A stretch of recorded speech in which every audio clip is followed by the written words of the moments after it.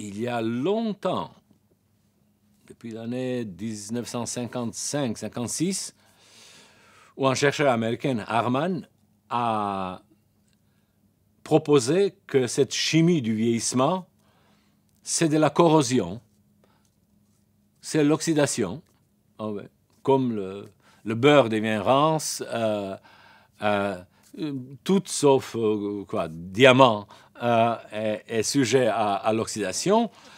Et nous, on ne peut pas éviter l'oxydation, les bactéries non plus, car l'oxydation, c'est la façon à produire l'énergie.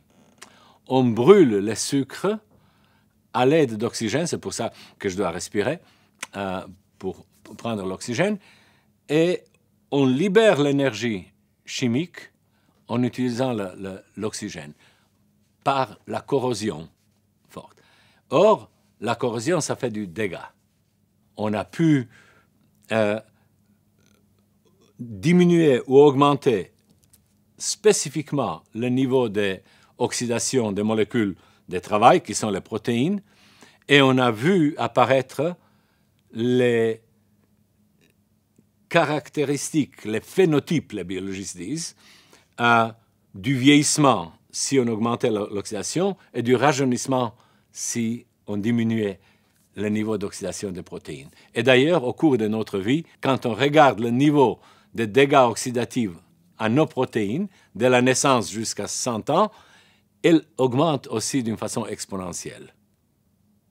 Et certains gens se trouvent à gauche de la courbe, l'autre à droite de la courbe, certains vieillissent plus vite, certains vieillissent plus longtemps, euh, plus lentement. Donc, euh, on a quelque chose, au moins aujourd'hui, à mesurer qui est corrélé avec l'âge biologique, pas chronologique, biologique. Je veux dire, euh, je veux dire que si on met sur l'abscisse la fraction de la vie, donc pour le nématode, trois semaines, pour la souris, trois ans, pour nous, 100 ans, et le niveau d'oxydation, on obtient la même courbe.